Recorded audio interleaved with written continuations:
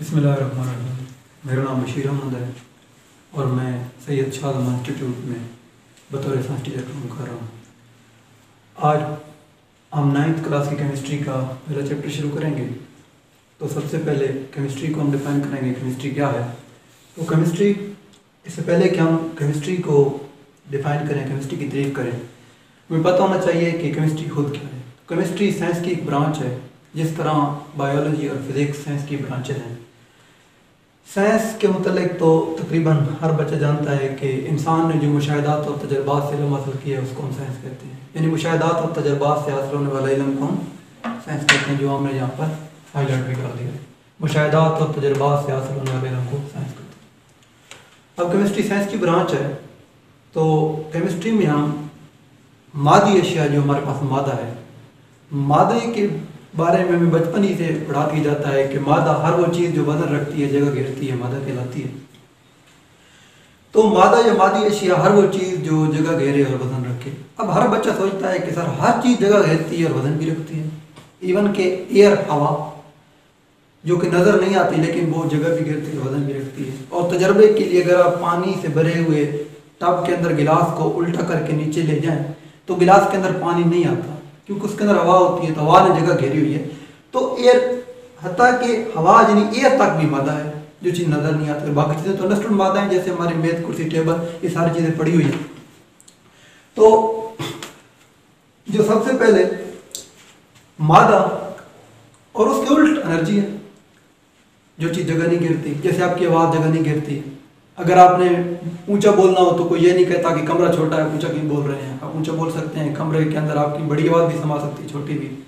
ہاں، روشنی ہے، جگہ نہیں گھیرتی، وزن نہیں رکھتی۔ اس کے علاوہ حرارت ہے، گرمی، سردی، یہ بھی جگہ اور وزن نہیں رکھتی۔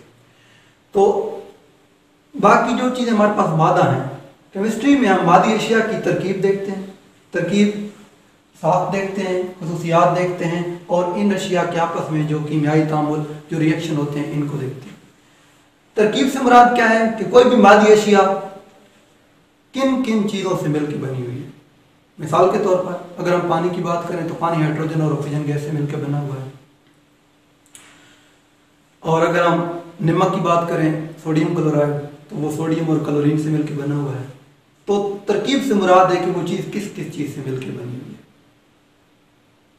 اور اس میں یہ بھی کہا جا سکتا ہے کہ اس کے اندر جو چیزیں موجود ہیں وہ کتنی کتنے حساب میں موجود ہیں۔ جیسے پانی کے اندر ہائیڈروجن کے دو ایٹم موجود ہیں اور آکسیجن کے ایک ایٹم ہر پانی کی مالکیول میں۔ ساتھ سے مراد یہ ہے کہ کسی چیز کے اندر جو ایٹم موجود ہیں، ان کی آپس میں ترتیب کیا ہے۔ جیسے اگر ہم پانی کو دیکھیں تو پانی کے اندر دو ہائیڈروجن اور ایک آکسیجن کے درمیان۔ دو ہائیڈروجن ایٹم کے درمیان جو ہمارے پاس زاویہ ہوتا ہے، وہ ہوتا ہے 104.5 ڈگری کا۔ تو یہ اس کی ہوگی ساخت۔ ساخت کو ہم ترتیب بھی کہہ سکتے ہیں۔ پھر خصوصیات کہ ہمارے پاس جو بھی مادہ ہے جس کا ہم مطالعہ کر رہے ہیں، اس کی خصوصیات کیا ہیں تو پانی کی خصوصیات آپ کو پتہ ہی ہے کہ پانی عام حالت میں عام ٹمپریچر پر ہمارے پاس مائع شکل میں پایا جاتا ہے۔ مائع اور پانی کا جو نقطۂ پگھلاؤ ہے وہ زیرو ہے اور پانی کا نقطۂ کھلاؤ جو ہے وہ سو سینٹی گریڈ ہے۔ پانی کی نہ کوئی رنگ ہے، نہ کوئی بو اگر خالص پانی موجود ہو۔ تو یہ پانی کی خصوصیات ہیں یعنی مادی اشیاء کی خصوصیات ہیں۔ اور پھر ان اشیاء کے آپس میں جو کیمیائی تعامل ہے یعنی اگر ہم پانی اور نمک کو دیکھیں تو ہمارے پاس دو مادی اشیاء ہیں، دونوں ایک دوسرے کے اندر پانی کے اندر نمک مکس ہو جاتا ہے اور نمکین پانی بن جاتا ہے۔ یا پانی کے اندر اگر ہم کوئی سوڈیم میٹل ڈال دیں تو ہائیڈروجن گیس باہر نکلتی ہے۔ یا پانی اور اگر تیزاب کو مکس کر دیں بیٹری والا تیزاب جو سلفیورک ایسڈ کوئی بھی آپ تیزاب لے لیں، اس کو پانی کے اندر مکس کریں تو ایک دھماکے کے ساتھ ریئیکشن ہوتا ہے، نمک اور پانی بن جاتا ہے۔ تو اس میں ہم اشیاء کی ترکیب، ساخت، خصوصیات اور ان اشیاء کا میں کیمیائی تعامل کا مطالعہ کریں گے۔ پھر کیمسٹری ایک بہت بڑا علم ہے۔ اس کے اندر پھر ہم مزید شاخیں بنائی ہوئی ہیں تاکہ اس کے ہر پہلو کو ہم آسانی کے ساتھ اس کا مطالعہ کر سکیں، ہر پہلو کا علیحدہ علیحدہ۔ تو سب سے پہلے ہمارے پاس فزیکل کیمسٹری آتی ہے۔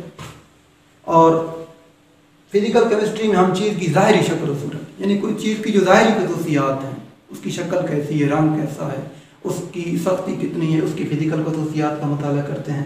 بایو اور آرگینک کیمسٹری اور ان آرگینک کیمسٹری یہ دونوں جو کیمسٹری کی شاخیں ہیں، یہ بیسیکلی کمپاؤنڈس کی دو قسموں کی وجہ سے دو شاخیں ہیں۔ کمپاؤنڈس کی ہم دو قسمیں بناتے ہیں آرگینک کیمسٹری اور ان آرگینک کیمسٹری آرگینک کیمسٹری میں ہم ہائیڈرو کاربن اور ان سے بننے والے کمپاؤنڈس کا مطالعہ کریں۔ اب ہائیڈرو کاربن کیا چیز ہے؟ تو ہمارے پاس کچھ کمپاؤنڈ ہے جو جانداروں کے اندر بنتے ہیں اور ان کے اندر کاربن اور ہائیڈروجن لازمی جز جیسے آپ تقریباً ہر گھر میں سوئی گیس لگی ہوئی ہے نیچرل گیس اس کا فارمولا سی ایچ فور ہے یعنی اس میں کاربن اور ہائیڈروجن ملے ہوئے ہیں۔ تو یہ ہمارے پاس ہائیڈرو کاربن اور ہائیڈرو کاربن سے آگے بھی کمپاؤنڈ بن سکتے ہیں۔ اگر کاربن ہائیڈروجن کے ساتھ آکسیجن آ جائے، جیسے گلوکوز ہے سی سکس ایچ ٹویلو اور او سکس یہ گلوکوز کا فارمولا ہے تو اس میں آپ دیکھ رہے ہیں کہ کاربن ہائیڈروجن کے ساتھ آکسیجن بھی لگی ہوئی ہے۔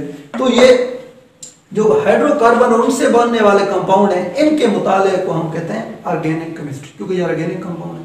ان کے علاوہ دنیا میں جتنے بھی کمپاؤنڈ ہیں، ان کے مطالعہ کو ہم ان آرگینک کیمسٹری کہتے ہیں یعنی ہائیڈرو کاربن اور اس کے علاوہ باقی تمام کمپاؤنڈز کے مطالعے کو ہم ان آرگینک کیمسٹری میں اسٹڈی کرتے ہیں، یا کیمسٹری کی اس شاخ میں ان کا مطالعہ کیا۔ جاتا ہے پھر بایو کیمسٹری یہ نام ہی سے ظاہر ہے بایو کا مطلب زندہ چیزیں۔ زندہ چیزوں کے اندر جو کیمیکلز پائے جاتے ہیں، جیسے ہمارے اندر پروٹین پائی جاتی ہے، ہمارے اندر چکنائی پائی جاتی ہے، ہمارے اندر کاربوہائیڈریٹس پائے جاتے ہیں گلوکوز پایا جاتا ہے۔ پودے، پودوں کے اندر جس طرح فوٹو سینسز کے دوران وہ گلوکوز بناتے ہیں اور ان کے اندر ایک ریئیکشن ہے فوٹو سینسز کا، جس کے ذریعے بنتا ہے گلوکوز نیوکلیر کیمسٹری جیسا نام ہی سے ظاہر ہو رہا ہے نیوکلیس سے نکلا ہے لفظ یعنی ایٹم کے اندر جو نیوکلیس ہوتا ہے، اس کو ہم توڑتے ہیں، اس کے اندر سے انرجی نکلتی ہے، اس انرجی سے پھر ہم ہاں، باپ گرم کر کے اس میں ٹربین چلا کر بجلی پیدا کرتے ہیں۔ تو یہ جو آپ کے پاس ہمارے ملک میں بھی اٹامک ریئیکٹر لگے ہوئے نیوکلیر ریئیکٹر تو اس میں ہم یعنی کہ نیوکلیر کیمسٹری میں ہم ایٹم کے نیوکلیس کے اندر جو شائیں خارج ہوتی ہیں، ان کے متعلق علم ہے اور اس سے ہم جو آگے بجلی یا الیکٹرسٹی پیدا کرتے ہیں، اس میں جو پروسیجر انوالو ہے، اس کے متعلق یہ سارا علم اس کے بعد انوائرمنٹل کیمسٹری ہے انوائرمنٹ ماحول کو کہتے ہیں۔ یعنی ماحول کے، ماحول اور انسان کا کیا تعلق ہے آپس میں؟